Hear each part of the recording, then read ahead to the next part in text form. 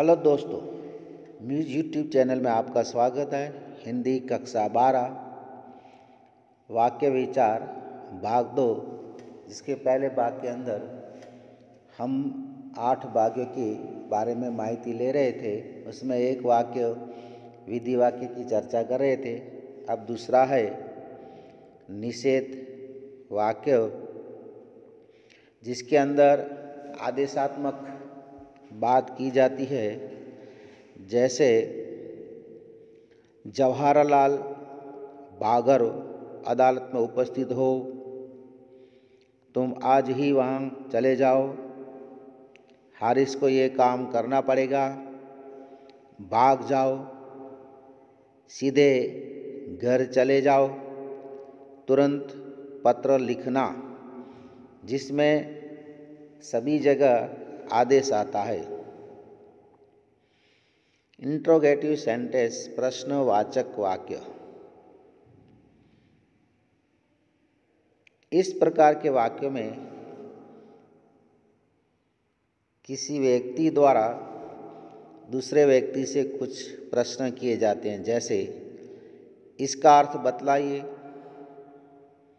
तुम घर कब जाओगे? तुम्हारी माताजी का क्या नाम है? तुम कब सोते हो? हरीश को आखिर क्या हो गया?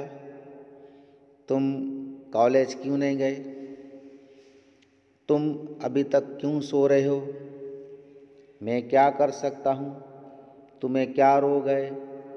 अंदर कौन है? तुम्हारे पिताजी क्या करते हैं? क्या आज विद्यालय में अवकाश है? अवकाश मतलब छुट्टी है। जिसमें प्रश्न आते हों, उस सबको प्रश्नवाचक वाक्य कहते हैं।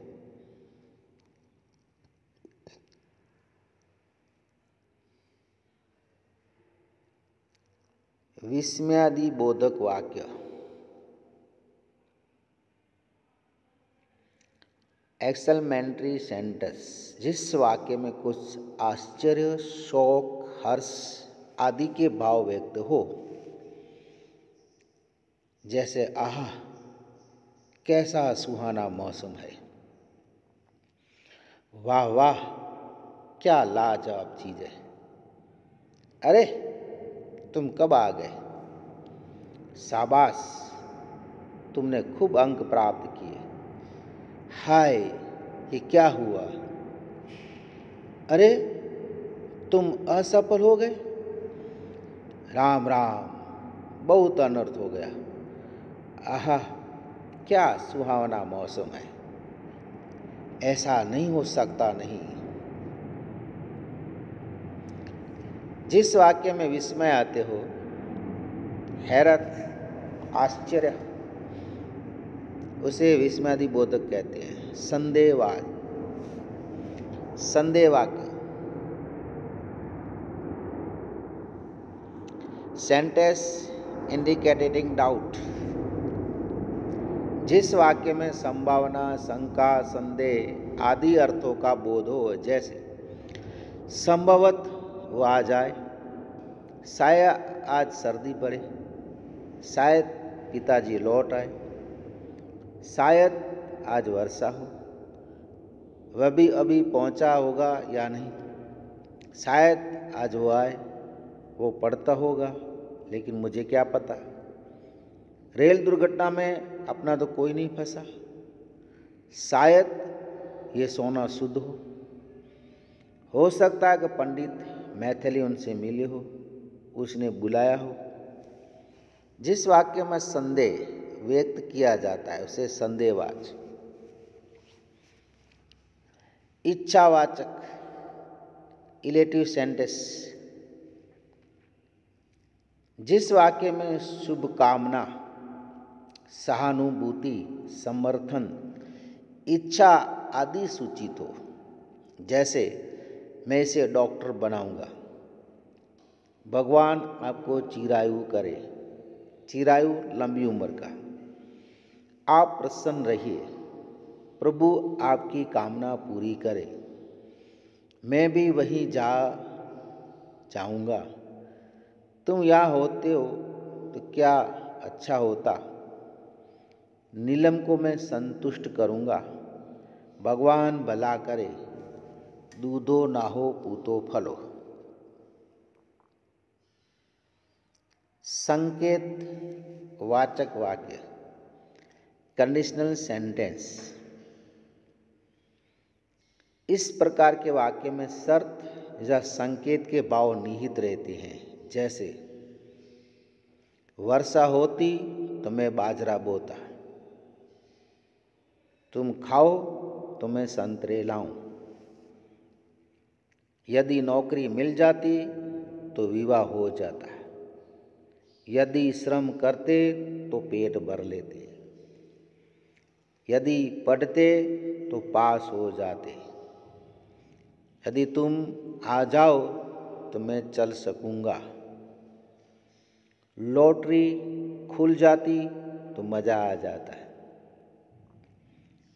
यदि वो रूट गया तो गजब हो जाएगा। मैं मुंबई गया तो तुम्हारे लिए साड़ी ले आऊँगा। यदि तुम कहो तो जाऊँ। शर्त या संकेत के भाव होते हैं, ऐसे संकेत वाक्य कहते हैं। वाक्य, वेद एवं विश्लेषण type of sentence of the analysis वाक्य वेद, रचना की दृष्टि से वाक्य के तीन प्रकार हैं। साधारण व सरल वाक्य, दो मिश्र वाक्य, तीन संयुक्त वाक्य। साधारण व सरल वाक्य। जिस वाक्य में एक ही क्रिया एवं एक ही कर्ता होता हो, उसे साधारण व सरल वाक्य कहते हैं। इसमें एक ही उद्देश्य एवं एक ही विधेय होता है। जैसे राम घर गया,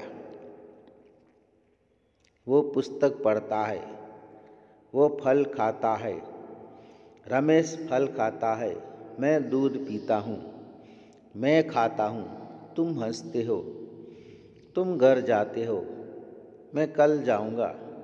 इनमें कर्ता, उद्देश्य तथा क्रिया विधेय रहती है।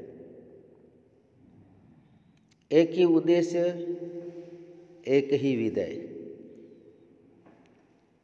साधारण सरल वाक्य कहते हैं, मिश्रित वाक्य। कॉम्प्लेक्स सेंटेंस जिस वाक्य में कोई अन्य उपवाक्य अथवा अंग वाक्य मिला हो, उसे मिश्र वाक्य कहते हैं। जैसे मैं जानता हूँ को अभी आया है। जब से उससे मिला, तुम वह थे ही नहीं। इनमें मैं जानता हूँ, मैंने उससे मारा साधारण वाक्य। तथा कि वो अभी आया है, तथा तुम वहाँ थे नहीं, अंक वाक्य।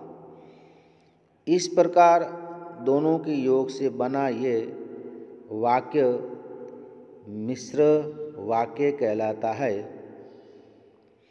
दोस्तों, ये था उसका दूसरा भाग। उसके बाद हम वाक्य विचार में इसके तीसरे भाग की चर्चा करेंगे